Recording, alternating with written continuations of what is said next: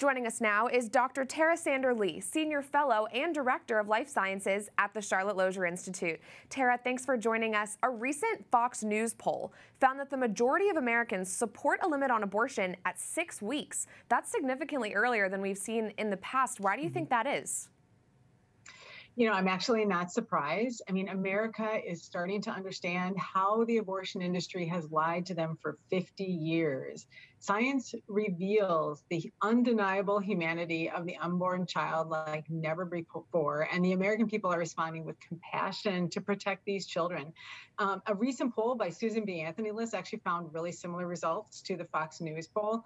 Most Americans in key battle states, like my own state here in Wisconsin, reject abortion on demand and support candidates that put limits on abortion compared to extreme Democrats we support unlimited abortion for any reason, right up until the moment of birth. Mm-hmm. So the American people from across the country, they want a limit on abortion at all stages of pregnancy because they know they know in their heart, they know because science reveals this, that the unborn child is a living human being. At six weeks when the heart is beating, to up to 15 weeks when she feels pain. So the Americans are tired of age-old lie from the abortion lobby that the unborn are just a ball of cells. They they know better. Science has revealed the undeniable humanity of the unborn child, and they're responding to that. Mm. And one thing that Alito's draft opinion so expertly laid out was just how much of a sham the Roe decision was. And that's perhaps the hardest hurdle to get over when trying to reveal the truth to someone who is pro abortion. How can we do this? Yeah, it's a great question. I mean, Alito got it right when he stated in his draft that the Constitution makes no reference to abortion. I mean, abortion is not protected under the Constitution. Roe got it wrong, but this court can make it right. The truth is that because of that wrong decision, Roe has caused the death of over 60 million babies of every gender and of every race over the last 50 years, some right up until the moment of birth. Babies with beating hearts that suck their thumb, that hear their mother sing, that respond to touch and taste, and feel excruciating pain when they suffer at the hands of an abortionist.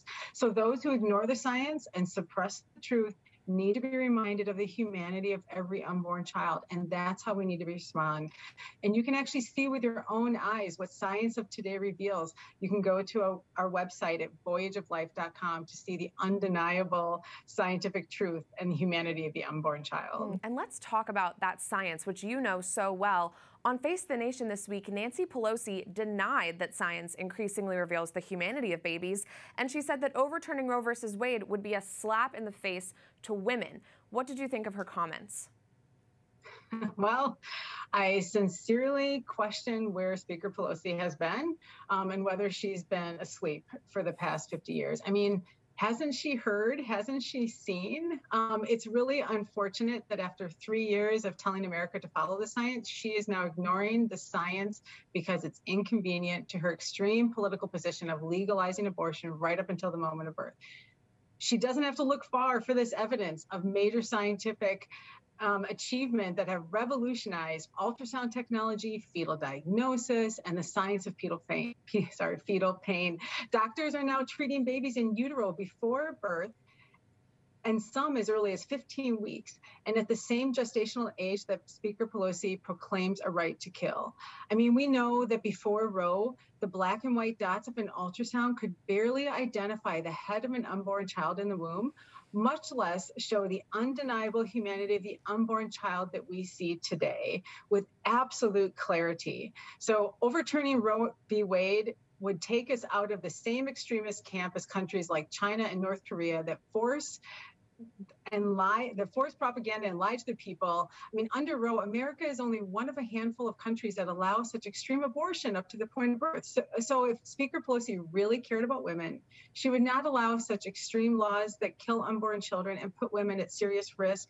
And she would not deny the science that has been that is the truth and has been revealed and that is all around her for evidence. Well, thank see. you for all the research that you do on this and the way that you revealed the truth. Dr. Tara Sander Lee from the Charlotte Lozier Institute. Thank you so much.